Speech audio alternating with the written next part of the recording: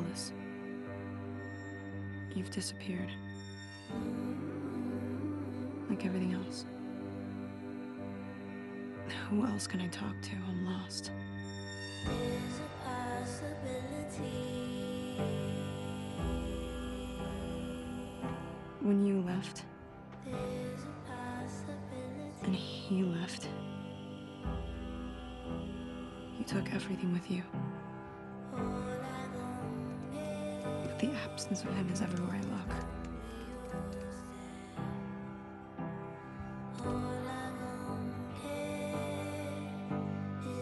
It's like a huge hole has been punched through my chest.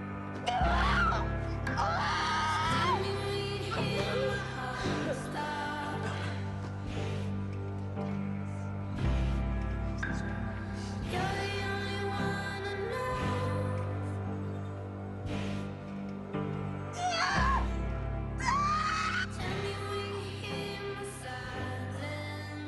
But in a way, I'm glad.